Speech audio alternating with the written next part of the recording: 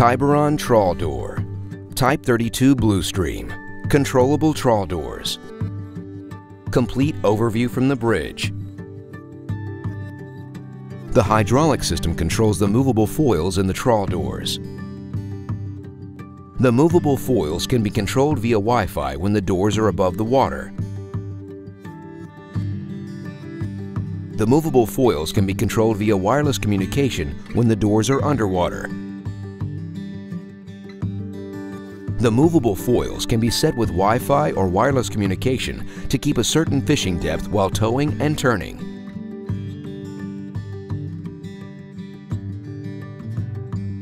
The trawl doors can easily be controlled individually or synchronously.